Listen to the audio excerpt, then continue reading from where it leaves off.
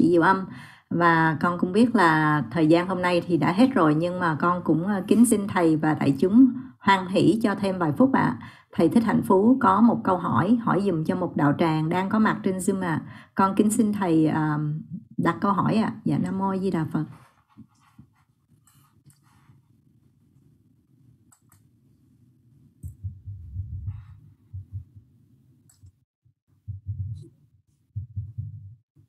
Nam mô A Di Đà Phật. Kính à, uh, bạch trên vô thông từ đức tăng lê kính thưa chư kính uh, thưa lão cư sĩ âm cùng toàn thể đại chúng. Xin phép cho anh phú uh, hỏi câu hỏi cho một đạo tràng.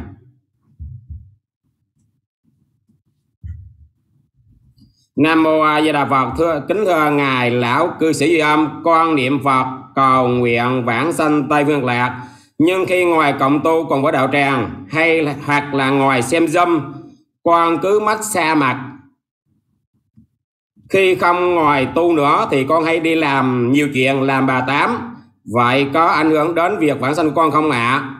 con thành tâm tri ân lão cái siêu âm và câu hỏi này của vị đồng tu này trong một đạo tràng. Đạo tràng có ai con xin à làm bà tám. À bà tám là làm chúng ta bà đúng là, đúng là nhiều danh từ bí ẩn quá.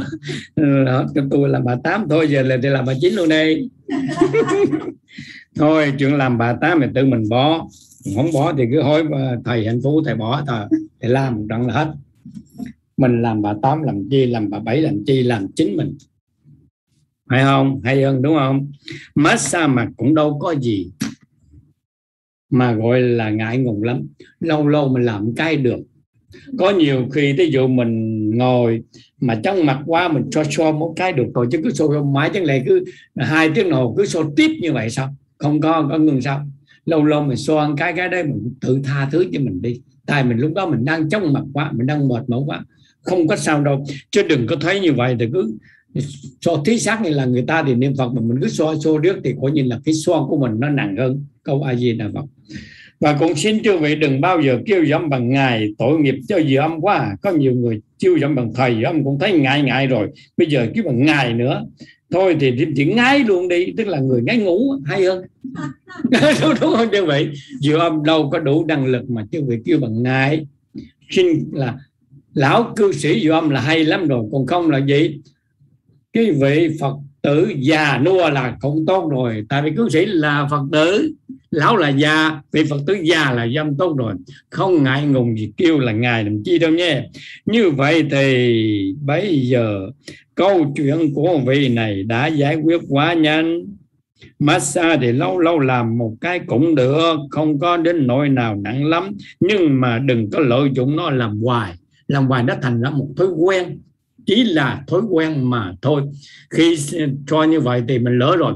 Một tay thì mình đưa cái áo tràng lên che vậy nè. Một tay mình so so trong ít người bị động tâm. Cho nên mình cho mạnh quá nhiều quá, nhiều khi những người bên cạnh mình động tâm, rồi cũng mà mất phước đi và mình cho như vậy thì mình cũng khó niệm Phật được. Thôi thì tha cho mình đi. Nhớ là hôm nay vào trong niệm Phật đường, mình cho năm lần, thì lần sau mình phải hứa là mình cho bốn lần thôi nhé. Rồi lần nữa mình hứa là cho ba lần tôi nhé. Như vậy thì trong năm buổi cộng tu mình đã phá được cái lệ này rồi. Chịu không? Mong chư vị hiểu được như vậy thì tự nhiên nó dễ dàng. Tha thứ cho mình và tự mình phải sửa vậy nhé. À di đà phật. Dạ nam mô di đà phật. Chúng con xin thành kính tri ân công đức của lão cư sĩ diệu âm. À, và buổi niệm phật thực tập và hội thảo hôm hồi niệm hôm nay đã quá thời gian luôn rồi. Ban tổ chức chúng con kính xin những chư vị nào còn có câu hỏi hôm nay, hãy hoan hỷ, tham gia trước giờ vào Zoom 696 ít nhất là 15 phút và giơ tay vào tối thứ sáu tuần này để được ưu tiên ạ. À.